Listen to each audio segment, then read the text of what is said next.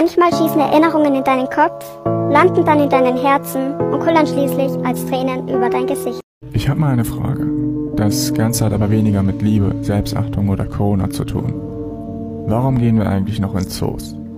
Ich meine, ein kleines Kind ist auch von Dinos begeistert, ohne jemals Dinos gesehen zu haben. Und meinem Sohn oder meiner Tochter das Bild zu vermitteln, dass Eisbären, Tiger und Co. in Deutschland auf 200 Quadratmeter glücklich leben, ist doch eigentlich falsch, oder nicht?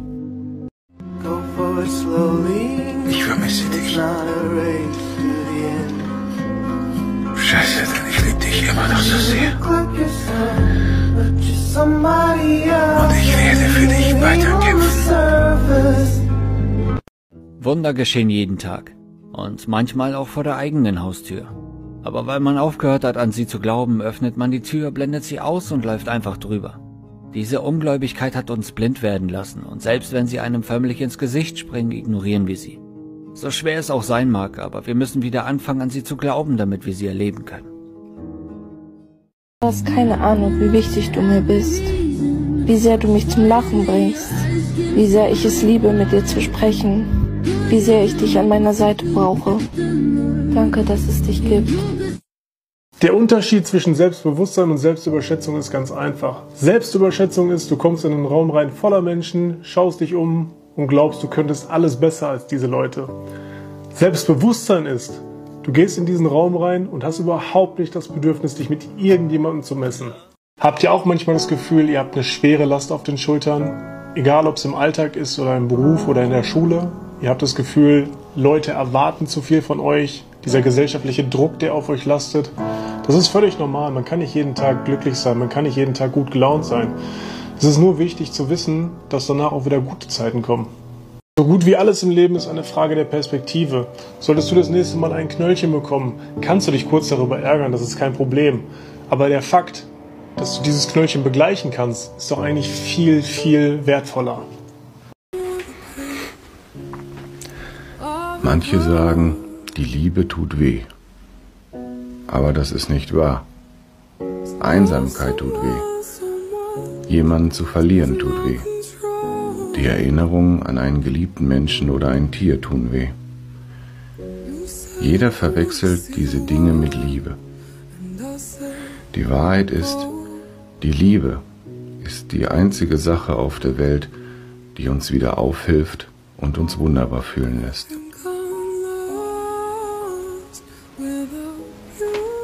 Jeder von uns hat ein oder mehrere Menschen im Leben, auf die er auf gar keinen Fall mehr verzichten möchte. Sagt den Menschen das doch mal. Sagt diesen Menschen doch einfach mal ein dickes Danke, dass sie immer für euch da sind. Am I broken? Manchmal weiß man nicht, was einen mehr verfolgt. Am I flawed? Die Erinnerung an einen geliebten Menschen oder der glückliche Mensch, der man mal war. Do I deserve a shred of words? Wenn du wirklich darüber nachdenkst, das Schwerste am Loslassen ist, zu akzeptieren, dass es der andere schon getan hat. Let me take your hand. Am I broken? Das Schlimme am Betrogenwerden ist, Am I flawed? es kommt immer von den Menschen, von denen du es nicht erwartet hättest. Do I deserve a shred of words? Hoffnung kann eine starke Kraft sein. Vielleicht steckt darin keine wirkliche Magie, aber wenn du weißt, worauf du hoffst und es wie ein Licht in deinem Herzen behältst, kannst du Dinge geschehen lassen. Dann ist es fast wie Magie.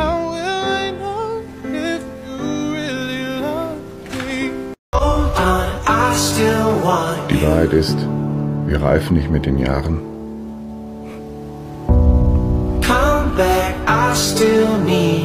sondern wir reifen mit dem Schmerz, den wir ertragen. Let me take your hand.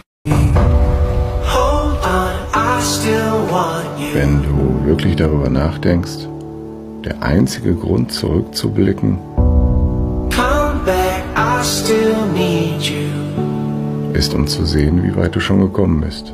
Let me take your hand. I'm made. Am I? Wenn Menschen dich immer wieder mobben, betrachte sie wie Sandpapier. Sie mögen dich vielleicht ein bisschen kratzen und verletzen, aber am Ende bist du poliert und sie sind nutzlos.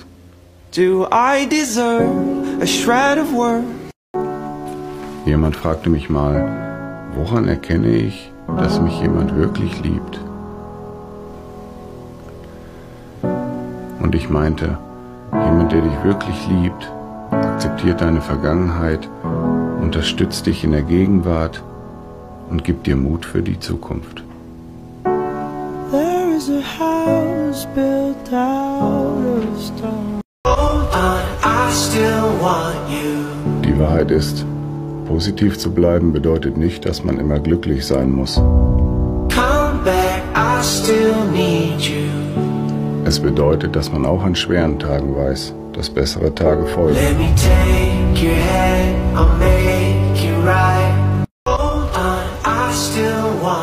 Die Wahrheit ist, Familienmitglieder können deine besten Freunde sein. Und deine besten Freunde, egal ob verwandt oder nicht, können deine Familie sein. Let me take your hand, Eine Schwester muss nicht immer gleich eine Blutsverwandte sein. Manchmal ist es auch die enge Freundin, die dich versteht, dich liebt und dir zu jedem Zeitpunkt den Rücken frei hält. Wir leben in einer verkehrten Welt, wo der Gute zum Psychologen gehen muss, um zu lernen, mit dem zurechtzukommen, was der Schlechte getan hat. Du stehst jeden Morgen auf. Du hast Phasen, an denen du manchmal das Gefühl hast, du würdest dir gerne das Leben nehmen, aber du machst einfach weiter. Du lässt dich nicht unterkriegen und egal wie viele Tage du in deinem Bett verbringst und das Gefühl hast, das war's, hier geht's nicht weiter, du hast trotzdem weitergemacht. Halt dir das immer, immer wieder vor Augen. Das ist so unfassbar krass, was du da jeden Tag machst. Der größte Fehler in heutigen Beziehungen ist einfach die fehlende Dankbarkeit und dass man vieles für selbstverständlich nimmt. Es ist nicht selbstverständlich, dass du am Morgen neben deinem Partner aufwachen kannst. Es ist nicht selbstverständlich, dass er dir dein Frühstück macht. Es ist auch nicht selbstverständlich, dass er dir in allem hilft, was du tust. Man sollte im Leben viel dankbarer sein für die Dinge, die für manche selbstverständlich sind. Das Problem in der heutigen Gesellschaft ist gar nicht, dass es diese Prinzessinnen und diese Prinzen nicht mehr gibt auf der Welt. Das Problem ist, dass die Leute an den falschen Orten danach suchen. Du wirst keinen Prinzen in der Shisha-Bar finden und du wirst auch keine Prinzessin in der Disco finden. Das ist einfach so.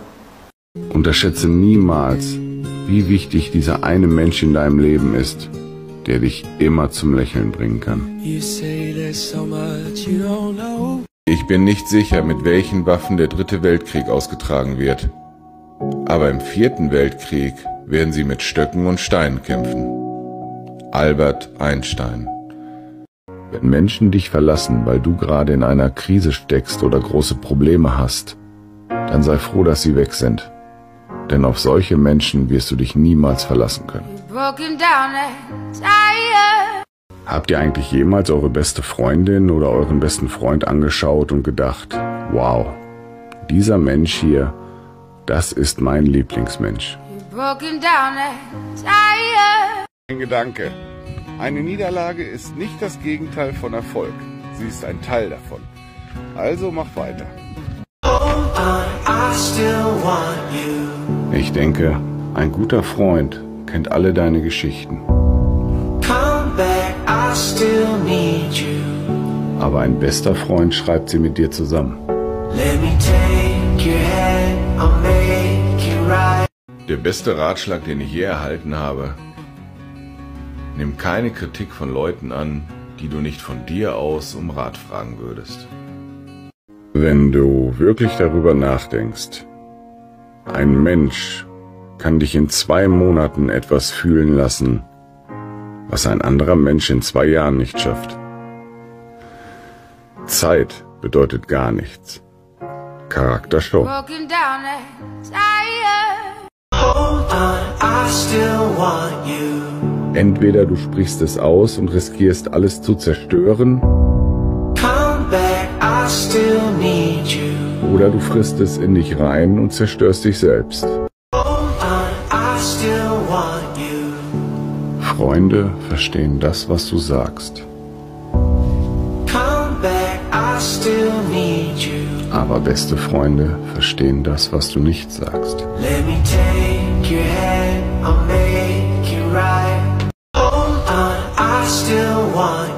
Was ist ein bester Freund? Ich denke, ein bester Freund lässt nicht deine Probleme verschwinden. Aber ein bester Freund verschwindet nicht, wenn du dich deinen Problemen stellst. You. Was ist eine beste Freundin? Eine beste Freundin ist ein Mensch, der dir wieder aufhilft, bevor du selber weißt, dass du gefallen bist. Die Wahrheit ist, Glück ist kein Geschenk des Himmels, sondern das Ergebnis deiner inneren Einstellung. Am I broken? Denk immer darüber nach, wie schwer es ist, dich selbst zu ändern, Am I flawed? bevor du von anderen verlangst, dass sie sich ändern. Ich sage immer, Familie ist wie ein Baum. Die Äste wachsen in verschiedene Richtungen. Sie sind unterschiedlich stark, unterschiedlich lang. Einige brechen ab und dafür kommen wieder neue hinzu. Aber im Stamm sind alle vereint. Und das ist es, was zählt.